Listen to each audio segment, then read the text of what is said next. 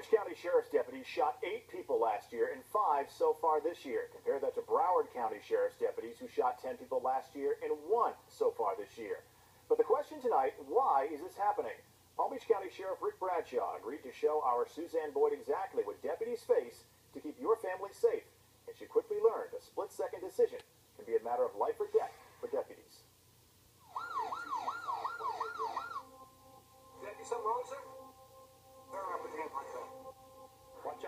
person in the car. They got a gun. They got a gun. The voice you hear walking me through these shoot, don't shoot scenarios is the sheriff himself, Rick Bradshaw. And I am getting a lesson in how quickly a traffic stop can turn around on a deputy. What are you going to do?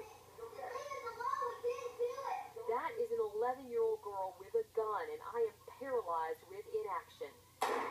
He just shot your partner. He just shot you. We have two dead deputies now. Well, you just did not go home to your eight-year-old daughter. You're dead.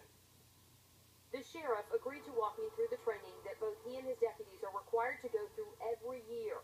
The scenarios are real, He gives the officer's gun. and they are split second. Happens fast, doesn't it? Now, when you shoot like that, though,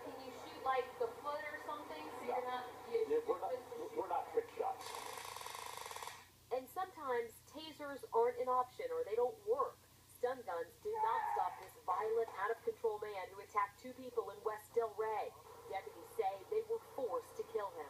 It's a very dangerous atmosphere out there. A lot of firearms involved, and a lot of disturbances where people are already uh, in a violent mode. Of the 1.1 million calls PBSO responded to last year, 6,000 of those are for shots fired. 2,500 are mental health calls. But the bigger issue, the sheriff says, is the lack of respect. People not complying with deputies. whatever, just do the ticket, go about your way. And remember this video of a driver cursing at a local police officer just for pulling her over? There's a, a, a sense of I'm not going to comply. You can't tell me what to do. Just disrespect towards authority. And little respect for what these deputies endure. Does this guy have a gun or is he bluffing?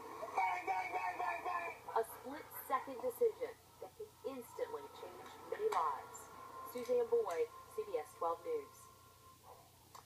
The sheriff also revealed to Suzanne why he is so passionate about defending his deputies who use their weapons. And it's because of something that happened to him when he was just a rookie in the police force with West Palm Beach. You can watch that part of Suzanne's interview with the sheriff on our website at cbs12.com.